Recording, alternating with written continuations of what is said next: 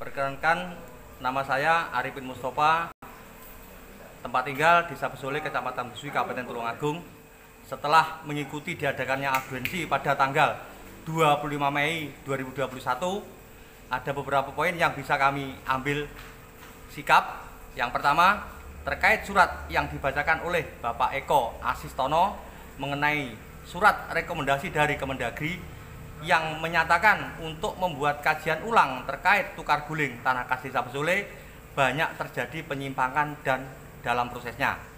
Yang kedua, kami warga Besole yang tergabung dalam F legal minta dilibatkan dalam proses pengkajian ulang tersebut. Yang ketiga, kami F legal melalui kuasa hukum kami Ketua Umum LPK Yayasan Konsumen Berdaya Abadi Bapak Eko Puguh Prasetyo meminta salinan fotokopi surat rekomendasi dari Kemendagri yang dibacakan dalam audensi bersama pihak terkait di dalam kantor DPRD Kabupaten Tulungagung. Sekian, terima kasih.